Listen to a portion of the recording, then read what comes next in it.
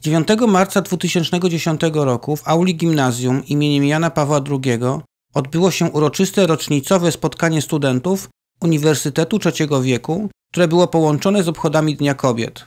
Ponad 90% słuchaczek to kobiety. Studentów, Radę Programową Uniwersytetu oraz wykładowców powitał Zbigniew Owczarski, przewodniczący zarządu, składając równocześnie najserdeczniejsze życzenia z okazji Dnia Kobiet.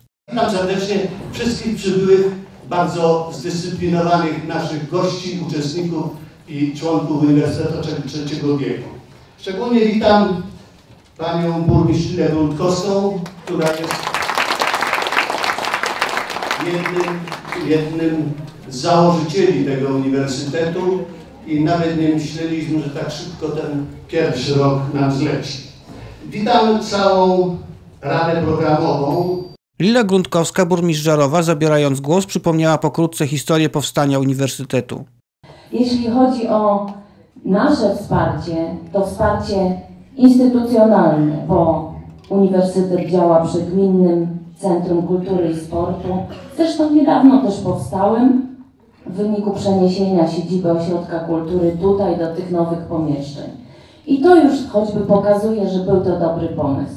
Może uda nam się kiedyś wyremontować siedzibę kina, to miejsce, które żarowianie obdarzają takim sentymentem, ale dzisiaj to tu jest miejsce do tego, aby i uprawiać sport, ale także krzewić kulturę, ale także Wasz dom, dom Uniwersytetu Trzeciego Wieku. I to znowu ten moment taki sentymentalny dla mnie, bo kiedy budowaliśmy gimnazjum, mówiliśmy o tym, że chcielibyśmy, żeby ono żyło. Żeby po godzinie 14 też tutaj było życie, żeby się tu coś działo. I dzisiaj również za Waszą sprawą, drodzy seniorzy, tak się właśnie dzieje. To wielka radość, kiedy idę przez żarów, czy jadę i widzę Panie z karimatami, widzę jak się spieszycie na swoje zajęcia.